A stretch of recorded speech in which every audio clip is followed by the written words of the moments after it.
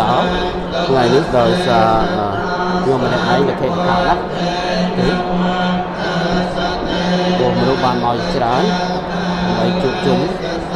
អបអរសាទរពួកទី40ឆ្នាំដែលជាពលរដ្ឋបានមករស់នៅលើទឹកដីអូស្ត្រាលីបាទនេះជាមោទនភាពជនជាតិខ្មែរយើងដែលបានប្រឹងប្រែងដើម្បីចូលរួមកសាងប្រទេសអូស្ត្រាលីការពារប្រទេសអូស្ត្រាលីក្នុងនេះកិត្តិយសជាតិ